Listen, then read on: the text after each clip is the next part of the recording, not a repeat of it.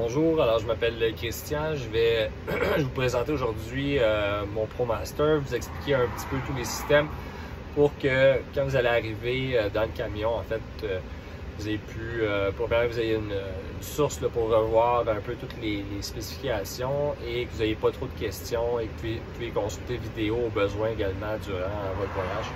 Fait que je vais vous faire faire un petit tour intérieur-extérieur les principales fonctionnalités euh, de ce qu'il y a dans le camion. Alors, euh, je vous amène avec moi. On ici. Alors, on voit l'habitacle du ProMaster. On va y aller avec la caméra à angle.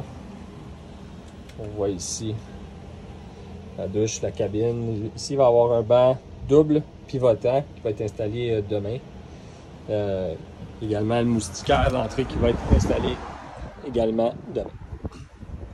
je vais commencer avec euh, les principaux systèmes électriques. ici, on voit c'est une lumière, bouton interrupteur touch.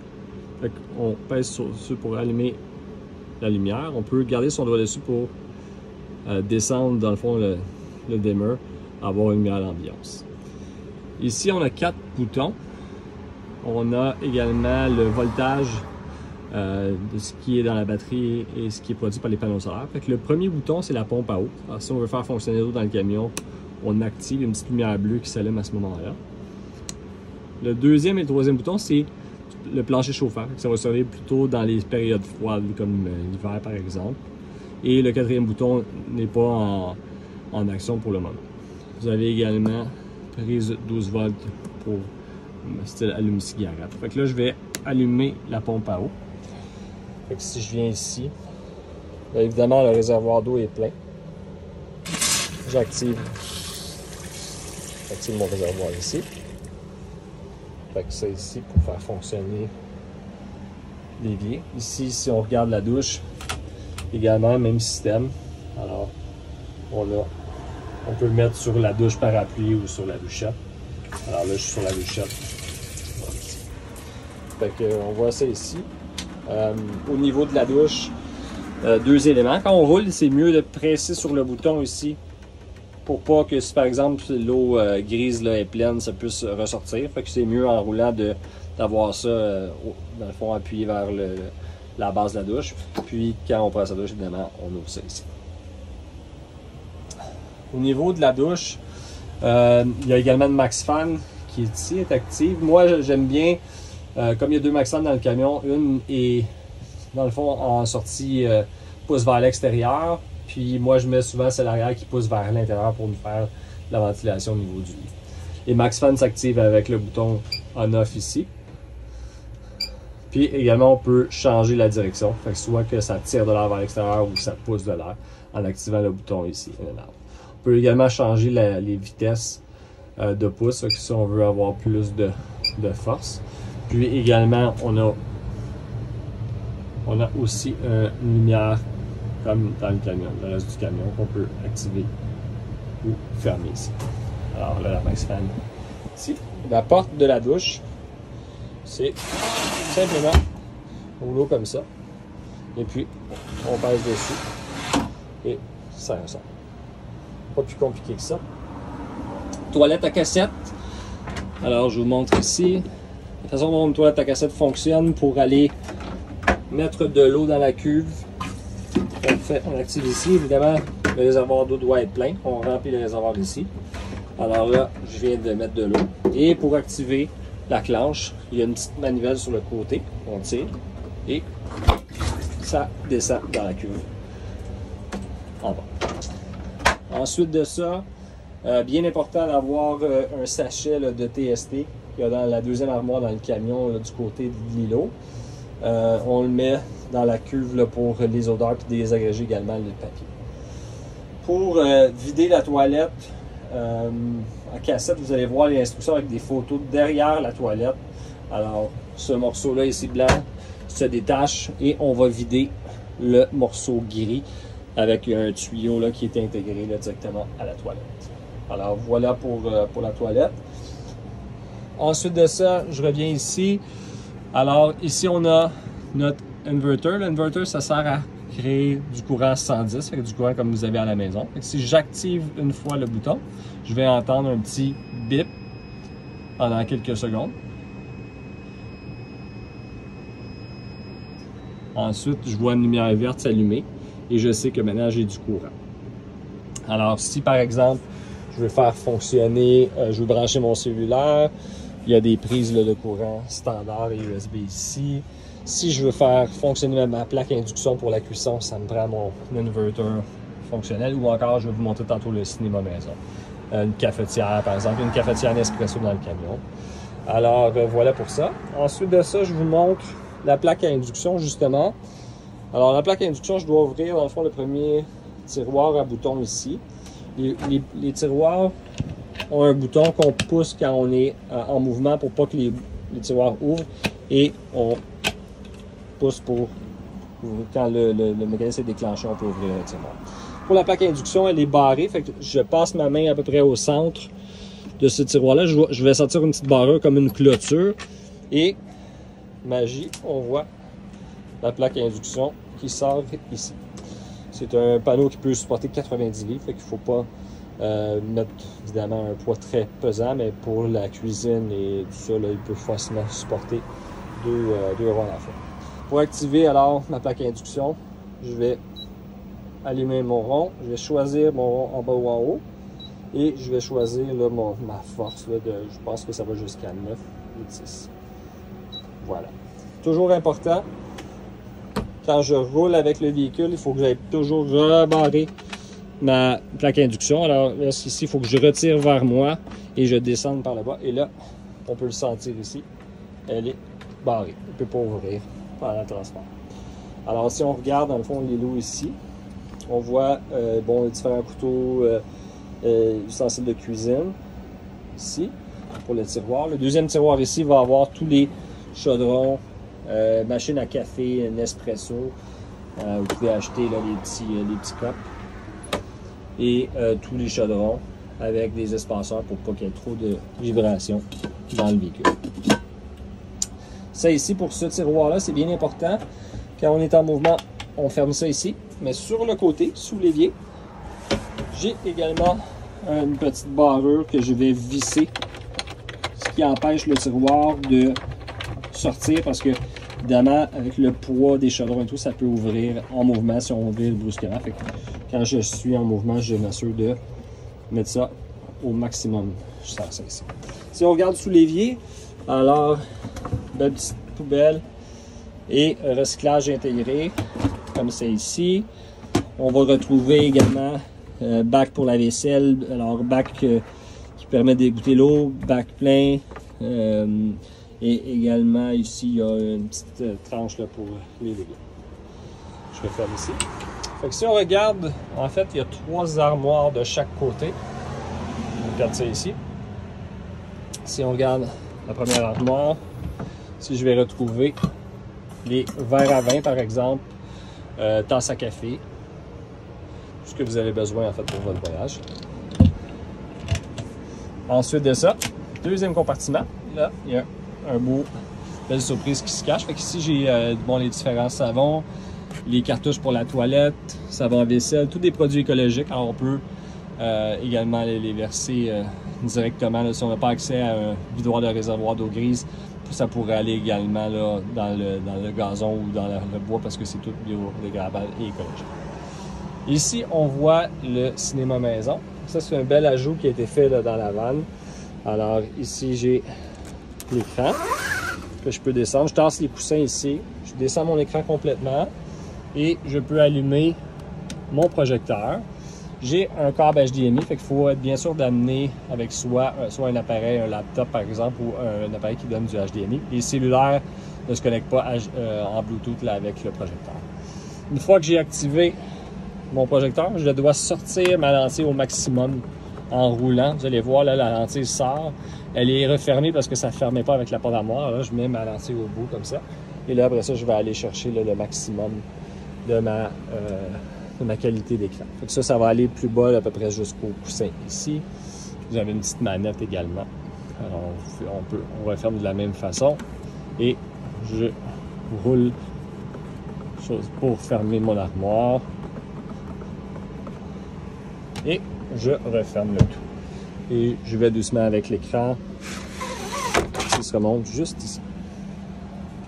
Ensuite de ça, euh, frigo, très spacieux, avec euh, compartiment euh, glace aussi, ici. Alors, vous voyez, c'est très, très bien fait, très bien divisé. peut facilement contenir la nourriture là, pour 3-4 jours aisément. On peut refermer. Juste à tirer ou refermer ici. Ici, à côté, au-dessus du frigo à droite, on retrouve un garde-manger pour mettre bon, ses aliments sèches. On peut mettre ça ici. Plus bas, on retrouve un compartiment dans lequel on peut mettre euh, trousse, euh, de, par exemple, de bain ou euh, vêtements, serviettes et autres. Ici. Et ici, le tiroir à ustensiles.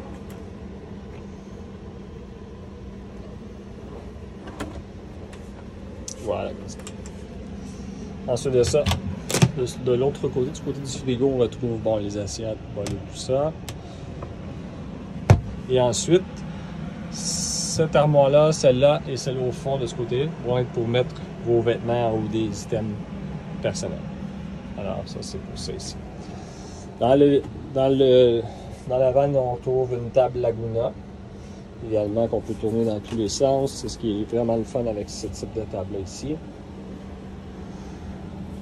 Et si on veut faire un lit, on va venir dévisser ce morceau-là euh, et ce morceau-là. Et on va mettre la table à plat ici avec un autre morceau qui se retrouve sur cette banquette ici que je vais vous montrer. Et on fait son lit avec le reste des coussins. Alors, du côté rond, parce que du côté rond, c'est de la mousse mémoire. C'est beaucoup plus confortable que du côté plat. Vous allez voir, c'est. Comme ça. Ça ici. Si je regarde sous le coussin ici, on va retrouver le chauffe-eau instantané. Alors, je vais ouvrir ça ici. Attention aux oreilles. Alors, pour le chauffe-eau instantané, en fait, je vais juste me placer ici. Alors, évidemment, je dois avoir mon inverter ouvert et je vais activer. Je vais ouvrir mon chauffe-eau puis je vais le mettre entre 2 et 3. Personnellement, je le mets à ce niveau-là. Et il va chauffer mon eau là, en une minute ou deux euh, et moins. Et je vais avoir deux choses pour faire la vaisselle ou encore prendre, prendre une douche euh, ou une douche extérieure. Alors, je vais refermer le chauffe-eau parce que j'en ai pas besoin. Fait toujours fermer le chauffe-eau quand vous n'en avez pas besoin. Ici, je vais retrouver la tank d'eau fraîche. J'ai un petit bouton ici pour voir, dans le fond, le niveau d'eau. Fait que là, on voit que mon niveau d'eau, là, est, au, est presque au plus bas. Alors, euh, vous allez avoir besoin, là, normalement, avec une, réserve d'eau, c'est 80 litres. Le réservoir, on va faire environ 3 jours là, si on a une bonne gestion de l'eau. Fait que la lumière va nous aider tout simplement à voir le niveau de l'eau. Le deuxième morceau de, en fond, de, bois de table pour faire le lit est ici. On sort le, la table et on va le mettre avec l'autre morceau pour faire le lit. Faire juste attention aux valves ici euh, en cas de pour pouvoir accrocher un tuyau par exemple. Si par exemple, je vais sortir ça ici. Si par exemple vous voulez vous brancher à l'eau d'un camping, ben, c'est marqué ici ville. Fait que je vais ouvrir ma valve, ouvrir ma valve ville, ville, ou encore directement juste ma tank. Alors, dépendant si vous êtes en autonome, autonome c'est comme ça. Vous pouvez avoir les deux manivelles d'activer en même temps. Ou ville, ça va venir par exemple de l'extérieur. Alors là, vous êtes branché à une source d'eau là, en, connecté comme dans un camping par exemple.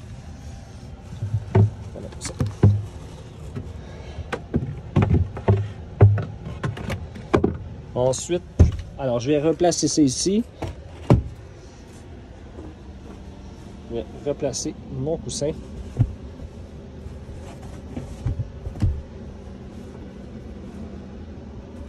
Comme ici. Ensuite, vous avez les rideaux ici que vous pouvez ouvrir. Alors, je peux ouvrir mon rideau là, pour voir si je veux voir plus d'extérieur. Met ça ici. Et même chose de l'autre côté. C'est des rideaux blackout à ce moment-ci. Je peux ouvrir mes rideaux complètement. Voilà pour ça. Ensuite de ça, si vous êtes dans une période un peu plus froide, euh, je vais évidemment refermer mon inverter si j'en ai pas besoin. La lumière va disparaître.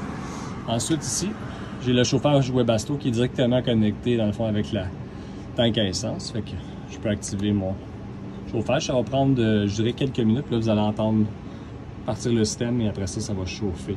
Et la, la, chaleur est très forte. Ensuite, euh, ce que je peux vous montrer ici, alors, sous la banquette côté de l'évier, on va retrouver tous les systèmes électriques avec l'inverter, le, le qui est pour euh, la grosse machine pour faire du courant 110. Vous avez tous les fuses si jamais vous avez besoin de changer une fuse et euh, également la gestion des panneaux solaires. Vous n'avez pas vraiment besoin de regarder les indicateurs. Euh, généralement, si on part le véhicule aux quelques jours et s'il y a du soleil en plus, on manque jamais vraiment de courant. Si jamais la batterie est en bas de 20% le système va fermer complètement l'énergie, l'électricité dans le véhicule, la batterie, et vous allez devoir partir le véhicule parce que la batterie a atteint 20% et moins. Donc là, il faut partir le moteur à ce moment. Ah, ça ici. Ensuite de ça, j'ai un blackout ici que je peux. Alors, si par exemple, je veux pas euh, qu'il y ait de clarté le matin, je vais fermer mon blackout, dérouler, je vais fermer ma max fan. Il y a des lumières de lecture à l'arrière. Encore une fois, je vais juste presser avec mon doigt. Je peux faire, je peux descendre l'intensité en, en, maintenant mon doigt dessus. Ensuite de ça, l'intérieur du véhicule. Alors, bon, évidemment, la cabine ici. Derrière la cabine, on retrouve un balai et des crochets pour attacher des manteaux. Ça, c'est bien pensé. Faut quand même pas mettre des bottes euh, qui, qui euh, je veux dire, on va dire qui dégoûtent trop parce qu'il y a quand même des systèmes électriques en dessous. Mais on peut mettre quand même des, des, souliers, euh, des vêtements humides sans quelque chose de nécessairement détrempé.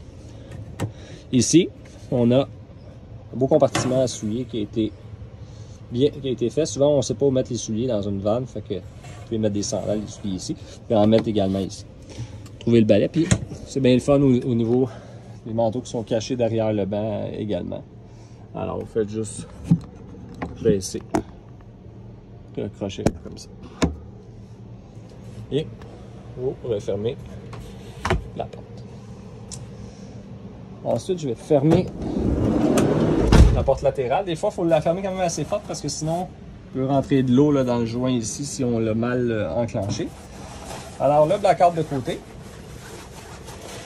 Il va se fermer comme ça ici. Vous voyez, avec un zip.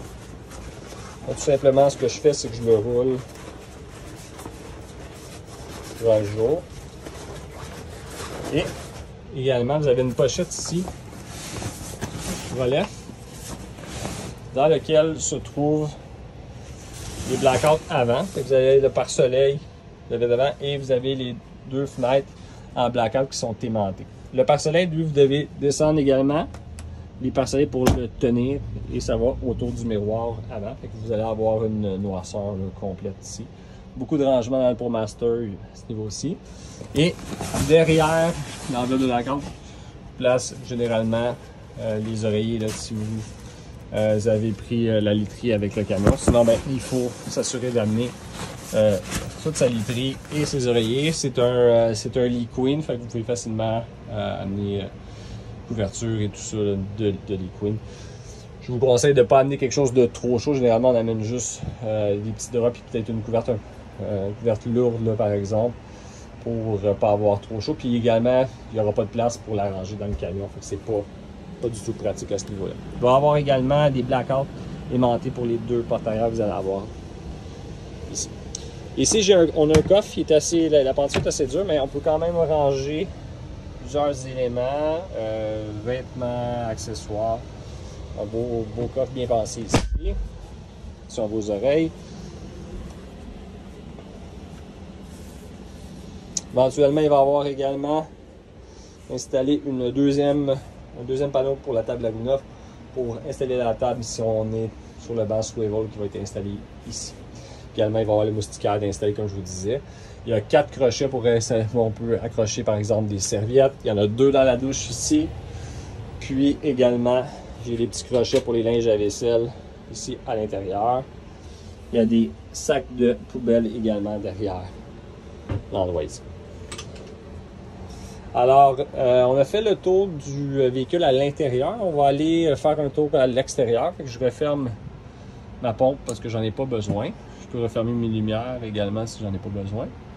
Comme ça. Puis je vais faire fonctionner Maxfan parce que c'est très chaud aujourd'hui. Au moment où je vous parle.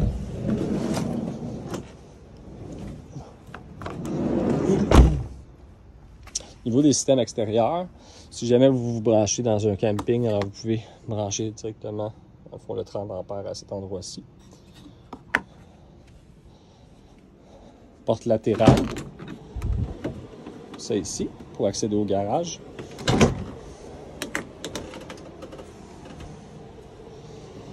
Moustiquaire arrière aimanté, que je vais lever comme ça ici. Dans le véhicule, je vais retrouver deux chaises pliantes, un tapis pour le côté, une petite table euh, et euh, également un lit simple pour la cabine avant si j'en ai besoin. Bel, bel espace de rangement ici, comme vous voyez. Si j'ai une deuxième, j'ai une douche extérieure, je peux débarrer dans le fond avec, la clé. Et euh, même chose, ma pompe à eau doit être activée. Et puis, je vais simplement ça comme ceci. Je sors ici, faut que je peux me rincer. Je vais activer le froid, le chaud, si j'ai activé mon chauffe-eau, et je pèse comme ici. Et je peux barrer également. Ah oui. Voilà. Et vous assurer également de bien fermer les portes. Euh, parce que sinon, vous allez sentir que quand vous essayez d'activer le. Si je veux barrer avec ma clé ici, si mes portes arrière sont pas bien activées, euh, on n'entendra pas le clock, alors ça ne sera pas barré. Toujours vous assurer que le véhicule est bien barré. Euh, à l'arrière, vous allez également retrouver une petite trousse noire relief qui est un rideau de douche. Alors, il y a des panneaux de côté, c'est marqué, là, c'est bien indiqué passager ou côté conducteur. Vous allez voir, il y a des velcro que vous pouvez installer. Dans le fond, les, rideaux, ça cache les fenêtres. Puis également, il y a un rideau qui, qui est aimanté qui passe d'une porte à l'autre pour vous donner la- le côté là, euh, intime si vous voulez prendre votre douche à l'extérieur. Alors voilà pour ça. Euh, ensuite de ça, je vais vous montrer. Ça ici, c'est la valve à eau. Alors là, j'utilise. si j'ai besoin de remplir mon réservoir d'eau, mon 80 litres, je vais avec une hausse remplir ce compartiment ici. Ici, il y a un overflow. Fait que si ça c'est plein, ça va sortir cet endroit-là. Ici. Échelle pour montrer sur le, sur le toit. Quatre, panneaux solaires. Il va avoir également une boîte euh, qui va être installée euh, cette cellule sur le toit. Vous allez pouvoir accéder. Vous voyez ici le haut du véhicule. Et il va avoir également la boîte d'installer cette semaine. Remplir le réservoir d'essence. On ouvre simplement la trappe ici. Et on tank avec du régulier ici. Voilà pour ça. Je crois que la dernière chose qui me reste à vous euh, montrer, il y a un détecteur ici. Et monoxyde. Ce que je vous ai pas montré, c'est l'auvent. Alors, il y a un auvent Fiamma ici, modèle F45. C'est très simple. Vous allez voir à l'intérieur, à côté du balai, on a accroché, dans le fond, une petite perche qui est barrée ici. Et vous allez simplement tourner la perche.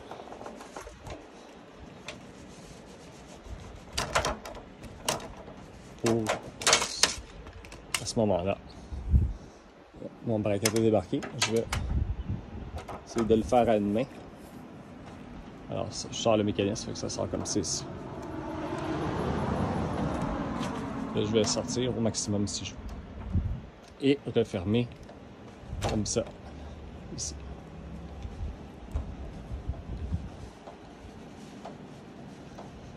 Alors évidemment, jamais utiliser un auvent en plein vent, sinon elle risque d'arracher. Alors moi, je ne la sors jamais quand euh, les conditions de vent se lèvent ou je reste toujours à proximité du véhicule à ce moment-là. Fait que je peux réinstaller à ce moment-là. Je suis dans le véhicule. Voilà pour ça. Vous allez retrouver ici les enregistrements du véhicule et les documents d'assurance. Et vous allez voir beaucoup de rangements. Trois cup holders ici. Et euh, voilà, acclimatique. Vous pouvez brancher également votre cellulaire euh, Bluetooth si vous voulez mettre de la musique. Et si vous avez un aimant sur votre cellulaire, il y a une clip pour attacher sur la menthe qui est là, à cet endroit-là. Euh, Qu'est-ce qui me manque à vous montrer? Alors, je pense que ça fait pas mal le tour. Faire attention évidemment euh, au bois. Le plancher, ça va. Comptoir également. Rien mettre de chaud une serviette euh, sur, les, euh, sur les comptoirs. Et après ça, il ne reste plus qu'à profiter de votre euh, escapade avec Ragnar. Ragnar, le, nom qu'on a donné à notre van en, en honneur à la, fait- à la, au Viking, au célèbre Viking et à la série Vikings. Alors euh, voilà pour ça. Si euh, vous avez des questions, vous pouvez toujours m'écrire, mais ça fait un bon tour de piste pour vous expliquer euh, comment les différents systèmes fonctionnent. Et bon, la vanne est très très autonome. On on l'a testé et vous allez pouvoir facilement dormir dans un endroit sans avoir besoin de vous brancher. Juste besoin de vider éventuellement l'eau grise euh, qui est en dessous que je vais vous montrer et également remplir votre réservoir. Alors, et vous pouvez même, il y a un bypass sur le système que vous pouvez même verser directement sans remplir le réservoir si, comme moi, vous utilisez un savon euh, écologique. Si, alors, si j'arrive pour vider mon eau, je vais ouvrir cette trappe ici. Je vais aller brancher, en fait, ici. Et vous allez retrouver un tuyau dans le garage arrière que vous pouvez brancher là, dans un camping, dans- une vidange. Et vous allez ouvrir la valve ici. Vous allez retrouver le tuyau là, à l'arrière. Il y a également des gants dans la porte du euh, conducteur pour euh, l'hygiène de ce côté-là. Alors, et comme je vous dis, euh, alors c'est seulement de l'eau que la douche et l'eau de la vaisselle. Alors, vous pouvez même euh, directement, si vous êtes dans un, bois, par exemple, ou dans un endroit, euh, je dirais, c'est plus rural, vous pouvez même déverser le, contenu de l'eau grise là, euh, sur le sol parce que c'est fait avec du savon écologique. Alors, ça fait le tour pour, pour la vanne. Si vous avez des questions, n'hésitez pas. Et j'espère que vous allez avoir un super voyage. Merci.